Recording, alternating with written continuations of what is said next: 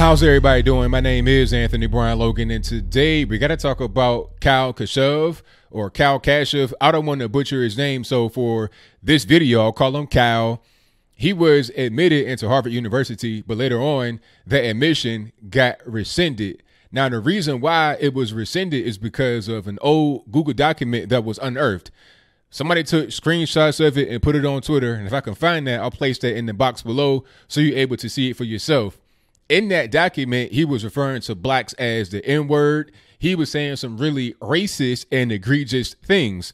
So that's the reason why his mission got rescinded. Now, before we even begin, I'm not going to say it's all right to use racial slurs towards blacks, towards whites, towards Jews, towards Asians, Hispanics, or anybody like that. I don't use racial slurs towards anybody. I don't even curse. So I think that that's wrong. However, I think if somebody apologizes for it, at a certain point, we got to be able to move on. Let's put it in perspective. He was 16 years old. He didn't say it publicly. It was in this private Google document, so he thought that it wouldn't come out. He just, you know, you know how you are when you were a kid, not saying racial slurs, but saying shocking things to each other. That's kind of what I think was going on here. And I believe that Kyle himself said it. He was just trying to shock his friends, and it was just really racist and crass and egregious. But what 16 year old is an angel? I don't know of any. If you do, let me know I'm in the box below. Because I think they really don't exist, but we'll move right along. As a result of that, he is now being seen as a racist, as somebody that just hates black people, someone who doesn't deserve to be at Harvard. But let's put these things in perspective. You have a lot of people that are in higher education who have said much worse things than Cal publicly and on purpose. You got professors that are just endlessly talk about how evil and hateful and bad white people are uh, whiteness, white privilege. You got classes that will teach against the concept of whiteness and white privilege. Is that not racist? So why is that accepted? But what he said two years ago in a private document for which he has apologized has not been accepted. I don't really understand. Okay. I talk about the governor of Virginia, Ralph Northam. This man was 25 years old or so in medical school. So we're talking about way beyond high school where Cal was when he said those comments or wrote those comments in the private document, way beyond high school, way beyond undergrad.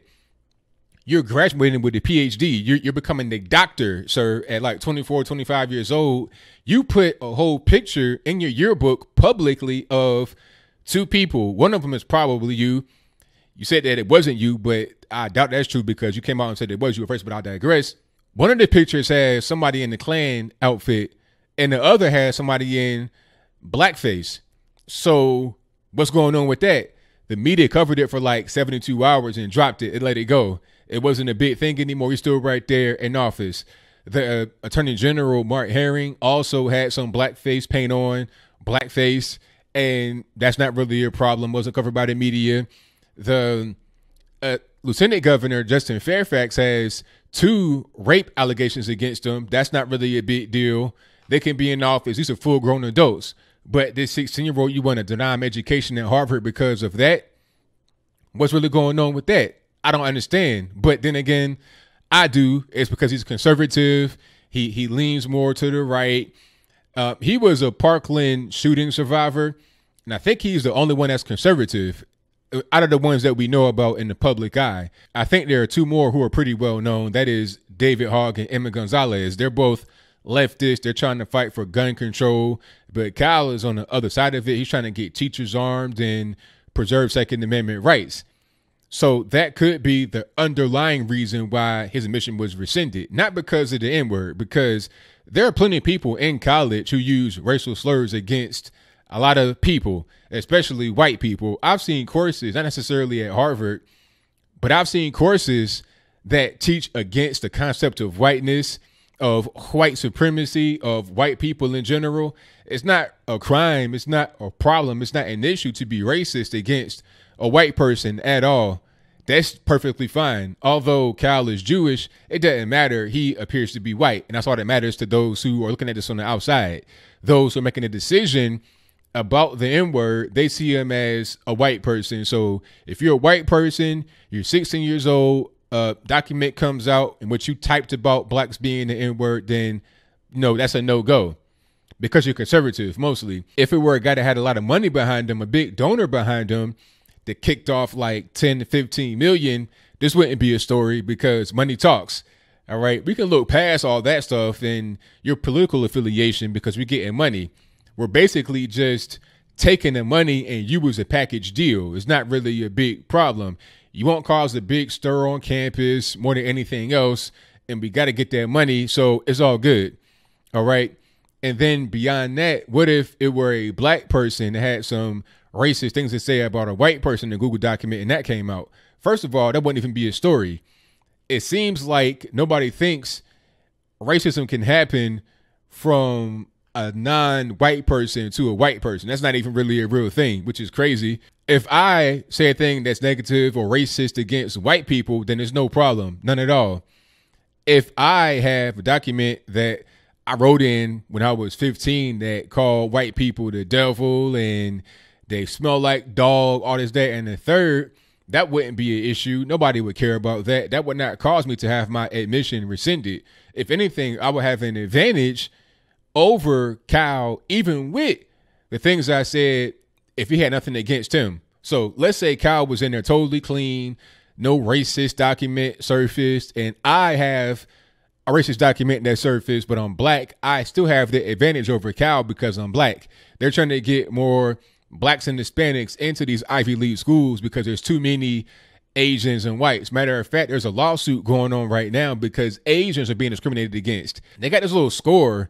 I'm not sure what it is, your personality, your likability, your socialness, whatever you want to call it. That score is always lowest with Asians, and that is used to get them out of the process to make room for more blacks and Hispanics. Okay. So they're actively discriminating against certain groups of people. You can't do that. Now, some would say they're a private organization, yes, but they're also tax exempt. And according to the Supreme Court, you cannot discriminate. So that's what this really boils down to. It ain't about the N word, it ain't about any of that. It's about politics, it's about appearances, and it's about numbers we can't have this guy in here because he said well, that even didn't even say he typed the N word two years ago when he was 16 and he's conservative leaning. So a guy like that is not what we want to have at Harvard. We want to have more left leaning people, more so called people of color. That's just pretty much what it is. A lot of folks are celebrating They're talking about, oh, you got what you deserve. But let's be clear, this could be you in the future because they might want to move away from this thing of protecting the people of color. They may want to attack you for being conservative, for being pro Second Amendment, for being pro life. If you're on campus and you're talking to people, you may poison them, you may cause harm to them, so they may get you out of there for that. Who's the grand arbiter of what is acceptable speech and what's not? You know, we all know that racism is bad and that's fine, but what else is bad? And what's the actual penalty? Do you just get held for that comment that you wrote at age 16 throughout your entire life. Although you have been apologizing for it, you've been politically active and fighting for good things. I mean, how long do we hold that against you? I don't really know, but I think I'm done with that particular topic. So, what say you? Do you think that Harvard was correct to suspend or to revoke Cal Kashuv's college admission? If that's your viewpoint, let me know why in the comments below yes, it is a private school, but also federally funded. So should we take away the federal funds from a school if they want to behave like this and just do things based upon your skin color, your political orientation? They won't say they rescinded his admission because he is white appearing Jewish and said quote unquote racist things, or that he is right leaning conservative that is pro Second Amendment. They won't say that to you directly they'll say things like, well, we reserve the right to do that anytime and it's our choice, is that and the third. As I close, I want to say this. I'm not a big fan of colleges because too many of them engage in behavior like this, kind of scammy, underhanded. You don't know what's going on. I'm not really a big fan. So hopefully Kyle's able to go to a better school that's best suited for him. And hopefully these colleges don't behave in a hive mind hopefully they have their own independent thoughts and they're able to look at a person who is apologetic, who is very bright guy, top two in the class, high SAT. Look at a guy like that as belonging in your institution. And if you're not wanted there, I would say go somewhere else where you are wanted. But whatever your comments are, please let me know in the comments below. And that's all I got to say for this video. If you like what you heard, please comment, rate, share, and subscribe. Peace.